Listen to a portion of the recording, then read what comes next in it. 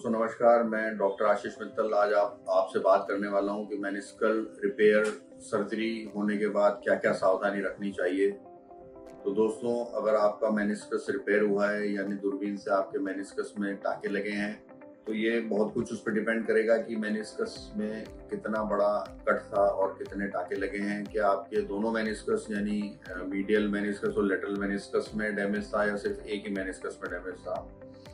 पर जनरली अगर meniscal repair surgery हुई है तो आपको पूरे वज़न जो है वो हम लोग लगभग चार से छह हफ़्ते के बाद उस पर वज़न देना चालू करवाते हैं। और जो नी को मोड़ना है यानी घुटने का जो मोड़ने की प्रक्रिया है, वो अगले दिन से या एक दो दिन छोड़कर हम लोग चालू करवाते हैं। धीरे धीरे पैर का मूवमेंट करवाते हैं।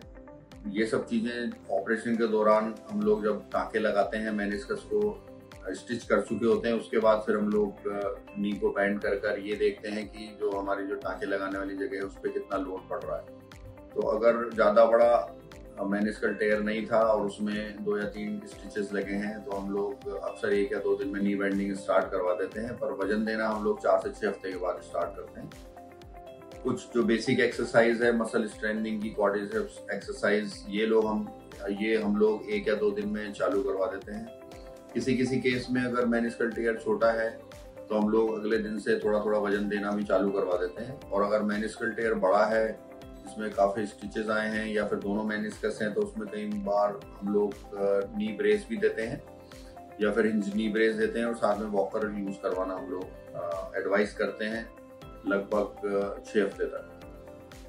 तो दोस्तों मैनिस्कस रिपेयर अक्सर एक, दूरबीन से होने वाली सर्जरी है, जो कि एक टेक्निकली डिफ़िकल्ट सर्जरी है, लेकिन बाहर से इसमें ज़्यादा स्टिच नहीं आते, लेकिन अंदर जो टांके लगते हैं मेनिस्कस पे, उसको हम लोग जो मेनिस्कल टेयर है, उसको हील होने के लिए हम लोग इसमें कुछ रेस्ट्रिक्शंस रखते हैं, कुछ हिदायतें देते हैं, जो कि हम लोग रिपेयर करने के बाद ही आपको पूरी तरीके से बता सकते हैं। तो बेस्ट तरीका ये है कि जिस डॉक्टर ने आपका ऑपरेशन किया है वही आपको इस बारे में पूरी जानकारी दे सकते हैं।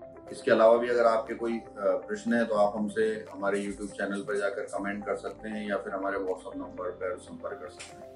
नमस्कार, जय